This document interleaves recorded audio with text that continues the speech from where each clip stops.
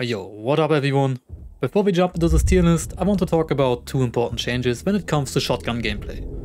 First of all, with the addition of unlimited headshot range, slugs have become significantly better, since they now will be able to one-shot kill at any distance or at least in theory. Shotguns, like all other weapons, also have to deal with bullet drop, it is much more simple though. Medium barrels like the Rivals, Slate and Terminus and the Specter Bayonet have a drop starting point at 25 meters, while the long barrel shotguns like the Auto 5, formerly known as Crown & King, the full-size Specter and the Romero variants have a drop starting point of 30 meters. This change only affects slugs, since all other ammo types have too much spread to make any use of this. Yes, even flechette ammo. I have tested it very, very intensely. And one-shot ranges on pellet, based on ammo types, are unchanged.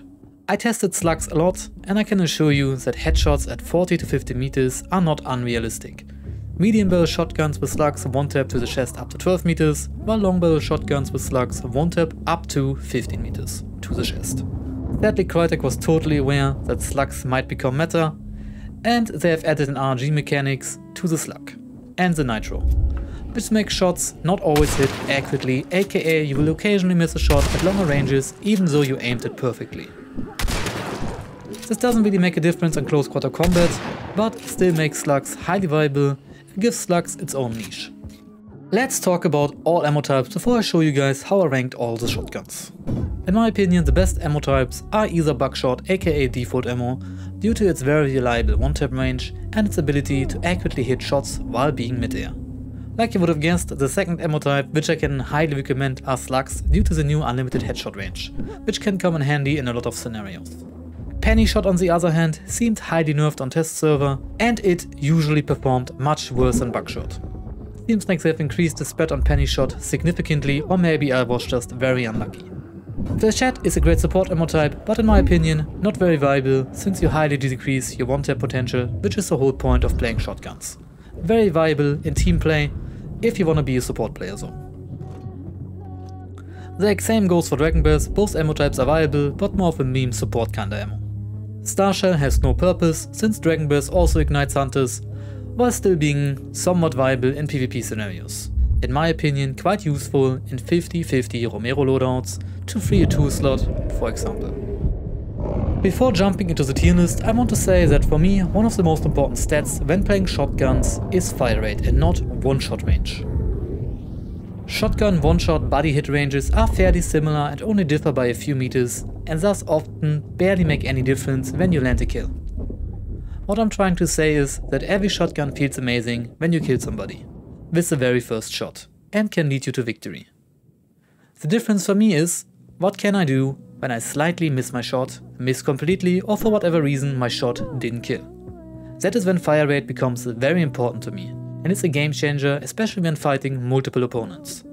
In close quarter combat, milliseconds matter a lot and can decide if you win or lose a fight. Having to reload your Romero or being able to shoot twice with a rival can suddenly decide between life or death. I will show you my entire tier list so you guys can jump to the chapters that matter to you and we will start from the bottom to the top. The first weapon in the tier list is the bomb lance. While it technically is not a shotgun, it still can be compared to one. In combination with steel bolts, it functions like one, but due to the very slow reload speed, it lands in the E tier by itself. For anyone who doesn't know steel bolts, is a special ammo type for the bomb lance, which shoots a barrage of steel bolts out of your bomb lance instead of a bomb lance stick, which performs just like a shotgun but without any penetration power. In the D tier I will upset a lot of people. But the Romero with all its variants will end up this low in my tier list and even though I personally am a great fan of the Romero and quite often run it myself and have wiped entire lobbies with it, sadly, like I said already, due to it being a single shot, it will punish you every time you do not land a kill. I'm aware that the Alamo technically rechambers, but it still fires very slow and thus all of them will be placed into the D tier. Since even with their long one-shot range, it is also one of the most punishing weapons, since missing one shot can quite literally decide the match. Moving into the C tier, we have two shotguns. The first one is the Specter Bayonet, which has a higher pellet spread due to it being a medium length barrel and thus having a less reliable one-shot range than the full-size Specter while also having a fairly slow fire rate.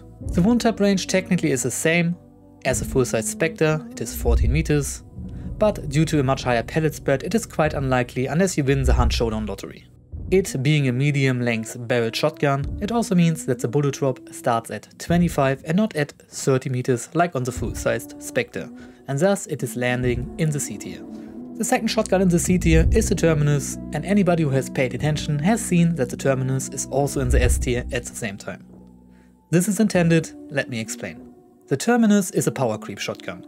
By itself it is a medium barrel length shotgun and has a one-shot range of roughly 13 meters with a fairly slow fire rate, especially in comparison to the shotguns inside the B to the S tier. The Terminus becomes significantly better once you combine it with levering, thus it is also inside the S tier, which I will talk about later. The B tier consists of two shotguns. The full-size Specter and the Slate. Specter is a long-barreled shotgun which gives it a buckshot, one-tap range of up to 14 meters very tight pellet spread and a drop range of 30 meters, which comes in very handy in combination with slugs. Sadly, it does require bullet grubber to be fully reloaded and has a fairly slow fire rate in comparison to the other B-tier shotguns. It is a pump action which sadly limits its fire rate. The Slate is a higher fire rate, but medium length counterpart to the Specter has a one-tap range of up to 13 meters, and while it outclasses the Specter in fire rate, it sadly loses in one-tap and drop range. Which is why they are both in the same category for me. Yes, the Slate has a higher fire rate, but it is still a pump action shotgun, which is still too slow to rank it any higher than the B tier. In the A tier we only have the Rival. The Rival can shoot two shotgun shots in a row before you have to reload or interact with any kind of rechambering mechanism. Which is why I ranked it this highly. You can often secure a kill before your enemy can react and even when the first shot didn't kill or missed entirely. It has a one-shot range of up to 13 meters with buckshot and a drop starting range of 25 meters. But due to its two-shot mechanic, it can fairly easily land two taps with slugs when needed. Now we do have a controversial pick, the crossbow. The crossbow. While it goes completely against my fire rate rule, it felt wrong to rank the crossbow with both its variants any lower than that. The crossbow got its one-tap range increased from 32.5 all the way to 35 meters to the chest, with normal bolts and is the king of utility while also applying intense bleeding. Steel bolts, one taps to the chest up to 26 meters while flying faster which results in much less drop. The explosive bolts being a grenade launcher and shot bolts being the only ammo type in the entire game that can potentially one-shot to the chest at any distance. It is technically a medieval shotgun that outclasses every other shotgun in one-tap range by more than double and thus I placed it in between the A and the S tier.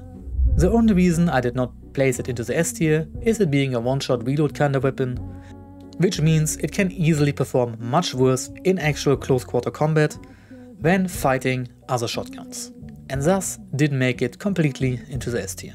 In the S tier we have the Auto 5, formerly known as the Crown & King, which is a semi-automatic long barrel shotgun with a 5 bullet magazine size and can wipe entire teams within seconds. It has a one-tap range of up to 13 meters with buckshot, but due to its very high fire rate, can easily secure kills past that range when needed. With slugs it can be played like a rifle, especially if you consider the drop range of 30 meters. I have a strong feeling that a lot of people will use the Auto 5 like a rifle in combination with slugs.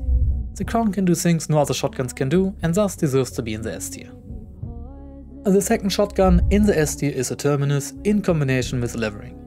It has a similar fire rate to the Auto 5 when combined with levering while having 2 extra bullets to be shambled. While I do not recommend using slugs on this weapon, while it is still viable, it is the strongest buckshot shotgun in the entire game due to its high magazine capacity, and will often allow you to change the outcome of an entire game within seconds by taking out multiple opponents within seconds, and thus also is an S tier weapon. This was it with my shotgun tier list. I hope this tier list helps you to decide which shotgun you prefer and I will talk to you guys next time.